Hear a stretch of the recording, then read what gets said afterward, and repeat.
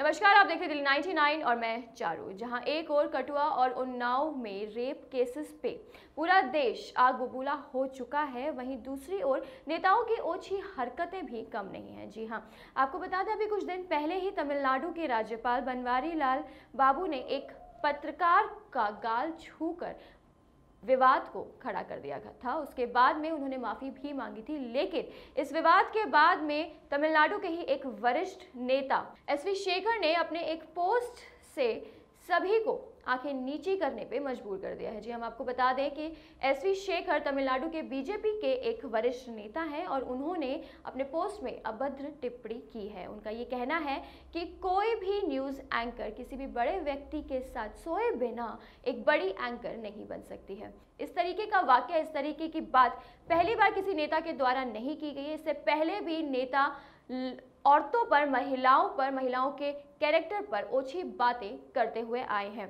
पहले बनवारी लाल बाबू और अब एसवी शेखर। तो अब बीजेपी क्या करेगी? इतना ही नहीं एसवी शेखर ने अपने पोस्ट में यह भी लिखा है कि जो भी मीडिया इंस्टीट्यूट्स हैं, वहाँ पर मीडिया रिपोर्टर्स नहीं बनाए जाते हैं, बल्कि वहाँ पे महिलाओं का यौन उत्पीड़न होता है और कोई भी महिला बिना किसी बड़े व्यक्ति के साथ सोए रिपोर्टर या एंकर नहीं बन सकती है।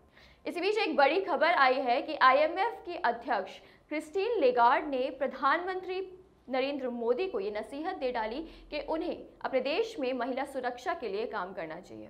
तो अब बीजेपी नेताओं की इस अभद्र टिप्पणी इस तरीके की हरकतें उसके बाद में उन्नाव और कटुआ जैसे मामले के बाद में क्या प्रधानमंत्री नरेंद्र मोदी अपने अंतर्राष्ट्रीय दौरों पर कम ध्यान देकर अपने देश की बच्चियों की सुरक्षा पर ज़्यादा ध्यान देने की कोशिश करेंगे? इतनी ही अपील है प्रधानमंत्री मोदी से कि आपके देश की बच्चियों को इस समय आपकी ज़्यादा ज़रूरत है। बाकी और खबरों के लिए आप सब्सक्राइब करिए दिल्ली 99